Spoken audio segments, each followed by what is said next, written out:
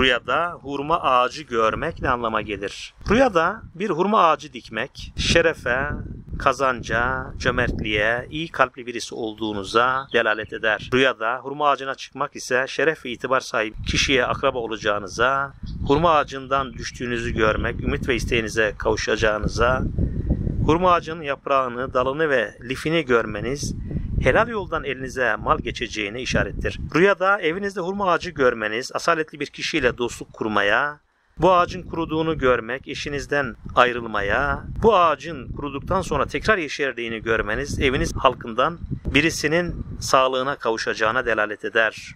Rüyada birçok hurma ağacının olduğunu görmek, o kimsenin büyük bir kişi olacağına, çok kazanç getiren bir iş sahip olmaya delalet eder. Rüyada şiddetli rüzgardan birçok hurma ağaçlarının devrildiğini ve kırıldığını görmek, zulüm sebebiyle birçok insanın felakete maruz kalmasına işarettir. Rüyaların en doğru yorumunu Yüce Yaratıcı bilir. Hayırlı ve güzel rüyalar görmeniz dilek ve temennisiyle kanalımıza abone olup bildirimleri açmayı ve dostlarınızla paylaşmayı unutmayın.